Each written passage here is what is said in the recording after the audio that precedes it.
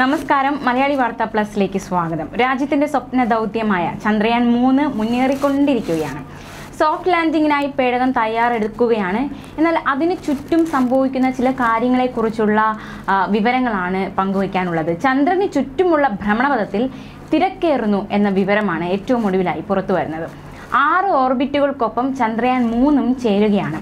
ചന്ദ്രയാൻ മൂന്ന് സോഫ്റ്റ് ലാൻഡിങ്ങിനായി എത്തുന്ന ദിവസത്തിൽ. റഷ്യയുടെ ലൂണ ട്വന്റി ഫൈവ് കൂടി ലാൻഡിങ്ങിന് ഒരുങ്ങുന്നു എന്ന വിവരം നാം ഓൾറെഡി അറിഞ്ഞതാണ്.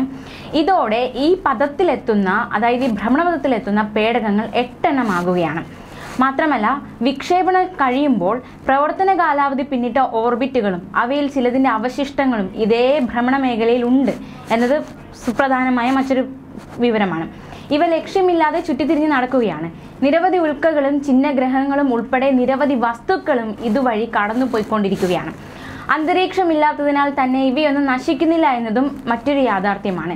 തിരക്ക് വർദ്ധിക്കുന്നതിനാൽ ഐ എസ് ആർഒ നിരവധി മുൻകരുതലുകൾ എടുത്തിട്ടുണ്ട്. ചന്ദ്രന്റെ ഭ്രമണപഥത്തിൽ ഇപ്പോൾ പ്രവർത്തനക്ഷമമായി ഉള്ളത് നാസയുടെ നാലും ഇന്ത്യയുടെയും കൊറിയയുടെയും ഓരോ ഓർബിറ്റുകളുമാണ്. ചന്ദ്രയാൻ ഒന്ന് ജപ്പാന്റെ ഔന എന്നീ ഓർബിറ്റുകളുമായുള്ള ബന്ധം നഷ്ടപ്പെട്ടു. പക്ഷേ ചന്ദ്രന് ചുറ്റുമുള്ള ഭ്രമണപഥത്തിൽ ഇവ തുടരുകയാണ്. എട്ട് ഉപഗ്രഹങ്ങൾ എന്നത് വലിയ സംഖ്യയല്ല. എന്നാലും ഭൂമിയെ അപേക്ഷിച്ച് മൂന്നിലൊന്ന് വലിപ്പം മാത്രമേ ചന്ദ്രനുള്ളൂ എന്നത് വലിയൊരു വെല്ലുവിളി തന്നെയാണ്. ഈ ഉപഗ്രഹങ്ങളിൽ പലതും പരസ്പരം മുറിച്ച് കിടക്കുന്ന ഭ്രമണപഥങ്ങളിലാണ് സഞ്ചരിക്കുന്നത്. ചന്ദ്രയാൻ മൂന്ന് ചന്ദ്രന്റെ നൂറ്റി അൻപത് കിലോമീറ്റർ അകലത്തിലായി വൃത്താകൃതിയിലുള്ള ഭ്രമണപഥത്തിലെത്തും.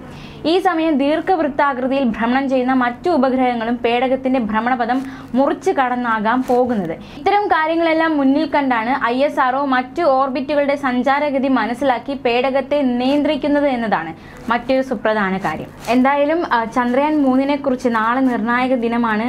അടുത്ത ഭ്രമണപഥം താഴ്ത്തൽ നാളെയാണ് നടക്കുന്നത്. രണ്ടാം ഭ്രമണപഥം താഴ്ത്തൽ വിജയകരമായി തന്നെ നടന്നിരുന്നു. ഇനി മൂന്നാം ഭ്രമണപഥ താഴ്ത്തൽ അത് കഴിഞ്ഞ് പതിനേഴാം തീയതി പ്രൊപ്പൽഷൻ മൊഡ്യൂളും ലാൻഡറും തമ്മിലുള്ള വേർപെടൽ ഇരുപത്തിമൂന്നാം തീയതി സോഫ്റ്റ് ലാൻഡിംഗ് ജൂലൈ പതിനാല് ഉച്ചയ്ക്ക് രണ്ട് മുപ്പത്തി അഞ്ചിന് ശ്രീഹരിക്കോട്ടിലെ സതീഷ് ധവാൻ ബഹിരാകാശ കേന്ദ്രത്തിലെ രണ്ടാം വിക്ഷേപണ തറയിൽ നിന്നായിരുന്നു വിക്ഷേപണ വാഹനമായ എൽ വി എം ത്രീ റോക്കറ്റിൽ ചന്ദ്രയാൻ മൂന്ന് പേടകം വിജയകരമായി വിക്ഷേപിച്ചത്. ഇതോടെ ഐ എസ് ആർഒയുടെ നാൽപ്പത് ദിവസം നീണ്ടു നിൽക്കുന്ന മൂന്നാം ചാന്ദ്ര ദൗത്യത്തിന് തുടക്കമാവുകയായിരുന്നു. ഓഗസ്റ്റ് ആറ് ഞായറാഴ്ച പേടകം ചന്ദ്രന്റെ ഭ്രമണപഥത്തിൽ പ്രവേശിച്ചിരുന്നു. അതേസമയം I S R O chairman S Somnath പറഞ്ഞ ചില വാക്കുകൾ കൂടി ഇവിടെ നമ്മൾ ഓർക്കേണ്ടതായിട്ടുണ്ട്. അതായത് എന്തൊക്കെ സംഭവിച്ചാലും ചന്ദ്രയാൻ മൂന്ന് പേടകം ഓഗസ്റ്റ് ഇരുപത്തി മൂന്നിന് ചന്ദ്രോപരിതലത്തിൽ സോഫ്റ്റ് ലാൻഡിംഗ് നടത്തുമെന്ന ആത്മവിശ്വാസം അദ്ദേഹം പ്രകടിപ്പിച്ചിരിക്കുകയാണ്. എല്ലാം പരാജയപ്പെട്ടാലും എല്ലാ സെൻസറുകളും പ്രവർത്തനരഹിതമായാലും എഞ്ചിനുകൾ പ്രവർത്തിക്കുന്നില്ലെങ്കിൽ പോലും പ്രൊപ്പൽഷൻ സിസ്റ്റത്തിന് പ്രശ്നമൊന്നുമില്ലെങ്കിൽ പേടകത്തിന് ചന്ദ്രോപരിതലത്തിൽ സോഫ്റ്റ് ലാൻഡിംഗ് നടത്താൻ കഴിയുമെന്നാണ് ഐ ചെയർമാൻ പറയുന്നത്. അദ്ദേഹത്തിന്റെ വാക്കുകൾ കടമെടുത്താൽ അങ്ങനെയാണ് അത് രൂപകൽപ്പന ചെയ്തിരിക്കുന്നതെന്നും വിക്രമിലെ രണ്ട് എഞ്ചിനുകൾ പ്രവർത്തിക്കുന്നില്ലെങ്കിലും അതിന് നിലത്തിറങ്ങാൻ കഴിയുന്നതിനായുള്ള സാഹചര്യങ്ങളും ഉറപ്പാക്കിയിട്ടുണ്ട് എന്നും സോമനാഥ് പറഞ്ഞിട്ടുണ്ട്. അതുകൊണ്ട് തന്നെ വളരെ ആത്മവിശ്വാസത്തിൽ തന്നെയാണ് ഐ എസ് ആർഒ എന്തൊക്കെ സംഭവിച്ചാലും സോഫ്റ്റ് ലാൻഡിംഗ് വിജയകരമാകുമെന്ന ആത്മവിശ്വാസത്തോടെ തന്നെ ആയിരിക്കുകയാണ്.